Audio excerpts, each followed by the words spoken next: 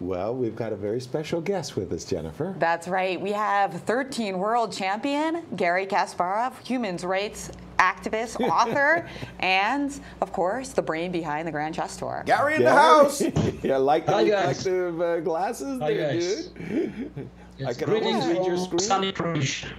Ah, from sunny Croatia. Oh, Yes, from sunny Croatia. Uh, it's it's it's uh, already nine nine quarter past nine uh, p.m. So it's not that sunny, but still, the temperature today was nearly just it's uh, over over hundred. So, what are your impressions so far of the St. Louis Rapid and Blitz? Wow. wow.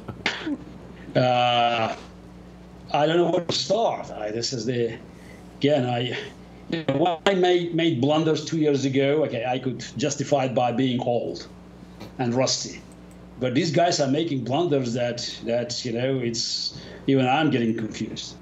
it's just it's the it's, no. I, I think that's the only one explanation. They are just they are overworked. It's- mm-hmm. the guys are tired Right. because there's so many mistakes, so many blunders. I mean, look, look at MVL in Blitz. I mean, MVL report MVL is the, the second round today. It's uh, Black Cat just technically winning position. I mean, any move knight f4, and this, he plays g5 and then rook takes d4, spending one second, and it's just instead of winning, he's lost. Um, and uh, and uh, now, obviously, you want to ask me about Magnus. I, my answer is I don't know. Do you? Yes. How can you explain that? So Magnus losing four games in rapid. No. Which one? And it, it, this, the style, it is, it's not a losing games. I mean, that's, the game was Aronian. It's just, it's, it's, I think he could, he could finish it off blindfold. I mean, it's, it's technical winning position. You either castle or play queen e2, queen e3. Just, it's the, he doesn't need time. He had 15 minutes on his clock, and then bishop h7, knight h4. Okay, missing rook e4. Yes, I could have missed it, you know, uh, today, maybe two years ago, but 25 years ago, uh, I doubt. So it's the uh, I, again. My only explanation is I think the guys just they play too much. But- It's somehow they, just, they they lose the senses and just their, their fingers or something, because something is dead wrong. I mean, you you can't have so many mistakes that, that are not typical. It's just they they're great experts in blitz or rapid. Ga- Garry, Magnus had a month off. A month. He can't say Yeah, that, but he, that he, he was tired. Yeah, but look, still, you know, how many tournaments he played this year? Exactly. Yeah, you start count, count all tournaments. It's not just you know. And also again with Magnus, it's just probably it's you know we have to separate Magnus from the rest of the field because with Magnus it's just it's, it could be another story. It's just you, it's like a Damocles sword. You know, he plays every tournament. Everybody expects him to win. And trust me, you know, I, I, I was in this situation. It's it's it's it's hell of a pressure on you. Yes, it's and uh, one day you know things could go wrong, and then you get nervous, like avalanche, snowball. One mistake is followed by another. You It's famous, when, the, yeah. Oh, I wanted to ask you. You famously said that the chess world's a better place when Levon Aronian is playing well. Um, what do you make of his performance here so far? Look, he's definitely the most stable player. I wouldn't say he was over impressed because he had a pretty bad endgame against MVL in the first round in, in, in Rapid, so he was lost against Magnus. But you know, it's it's it's this, this tournament is not about being creative; it's about being steady, and definitely Levon is steady. So that's just, he's he's not making as many blunders as others do. So and that's why he's on top. And again, it's good good news. So just you know, he shows stamina if he can you know keep up with with this pace and with his this quality of not making blunders and just playing solid games.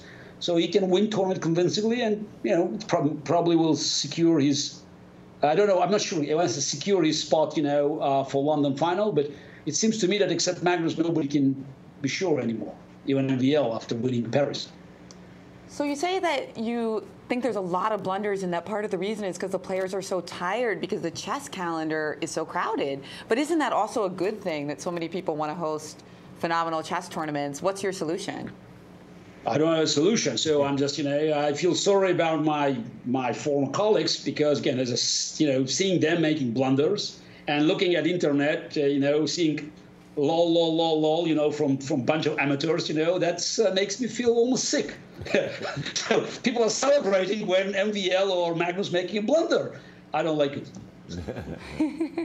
But, no, but hey, you, you came up with the Grand Chess Tour. You must have some solution. Fix it for us, Garry. Look, but it's just the no. It's look. It's the it's the the solution cannot be found just within Grand Chess Tour. The solution can be you know complex, but we we're dealing with crazy FIDE calendar. I mean, they just these these guys are just coming at the last minute with four extra tournaments.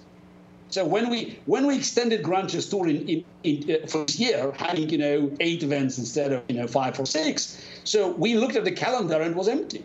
Okay, not empty, but it had many many many holes that we could fill. Yeah, because there's no Chess Olympia, there's no candidate, there's no World Championship match. So we thought, okay, why not? Why not ex- extending Grand Chess Tour? Because, as you said, great news. More people would like to, to to host it. We could go to Africa, we could go to India, so we could go to Romania. But all of a sudden, you know, we just you know we had to deal with FIDE, you know, installing four four quali- uh, qualification tournaments into the uh, uh, uh, into the calendar, and that's you know, and and uh, not you don't, you don't expect all the players to refuse uh, uh, FIDE qualifiers because they, they want to they won't have that chance, fair chance to qualify. But that means you know they have to play almost you know every week. Exactly. So maybe we just have to have the people online watching the game stop writing lol lol. Good luck with that. Uh, they're they're No, just going to talk. do. They'll do it because of computer. So that's and that's this, they they could see that evaluation jumps. You know, minus four to plus four. Look, from you know, if if we treat it as an entertainment, that's good news. So and I don't know you know about humiliation of players because you know they, I think some of them are also thinking about my God, you know I just blundered and now everybody's laughing at me on the internet. You should probably ask Morris. You should ask them, you know, whether they think about it. Garry, hater, haters are going to hate, and those people who are laughing could not hold a candle to those great players. I, I don't think we can worry I about know. that. No way in the world. I do, I do. You know, I just, I, I'm, you know, I'm, you know, I'm nostalgic about times when I played Karpov. We could make a blunder and nobody dared to criticize us. yeah, it's, yeah. But otherwise, look, it's, it's, it's a great entertainment. I still think that what we know today, you know, after Abidjan, after Zagreb, after Paris, and now, you know, in St. Louis, Grand Chess Tour is a great success. It's just it's it brings attention of the of uh, from the entire world. And uh, again, if we can fix the calendar and make sure players have a little bit of rest between tournaments, you know, it will it will go on. It will, it will continue. And I'm you know, and of course, St. Louis, you know, it's uh, proved again. It's uh, it's a capital of the chess world. Garry, uh, about what you were saying about the players being tired, I noticed in Croatia uh, during the um, classical Grand Chess Tour event that you only had one free day, 11 games in one free day. You talk about exhausting the players. There were some exhausted players in Croatia. We're going to have the same in the Sinquefield Cup. I have only one free day. How come we couldn't have allowed for a second free day in these the- uh, the- classical? okay. There are two reasons. One, of course, is the cost of the event. You know, that's the you have to respect local organizers. But another one is actual calendar. You know, that's just it's every day counts. So Zagreb was so close. So that's the it's to to to uh, to the next uh, FIDE event. So it's, yes, I couldn't agree more. I mean, it's I would if, if I had you know if I if I had my say and we could have a calendar you know fixed you know without any for uh, alien interference. So I would definitely add at least one one extra day for for for, for classical, maybe even two, just you know to make sure that they have rest and they just you know they can come back you know fresh and just you know hungry for a good fight. Exactly. So it was just that the Riga Grand Prix interfered there. Yeah, okay. It's all Grand Prix, you know. I just I remember when in, in the beginning of this year, we we got a call from FIDE saying, "Excuse me, guys, that now we have to res- reschedule your events because we have four four extra tournaments to add," and and then just you know then we had to start pushing things around. So the uh, the the game is about to start, but Garry, who do you think is going to surprise us and make the final four to London? Obviously, Magnus extremely likely to get in. Uh, Are there any dark horse picks that you have for one of those four spots? Again, I think that Aronian will will will will fill one spot. So again. He's, he's known for just losing his nerve, you know, at the last last you know critical moment. But it seems to me that he's you know he's in, he's he's quiet now. He he plays steady chess. Um, look, I mean, I mean, if MVL comes back to his normal shape and blitz, he should do well in this tournament, and we'll offer him a chance. And I think that's the it's the, the rest is just you know it's up for grab. I mean, it just it's the look classical offers offers big opportunity, and uh, I would I would look at Caruana as just you know as you know it might be his chance to grab the spot. So his performance in, in rapid and blitz is, is yet to be yet to be improved. Garry, we want to thank you so much for joining us. Uh, get back to enjoying enjoying the lovely weather and the games as we're about to start our next round. Thank you, my friend. Okay.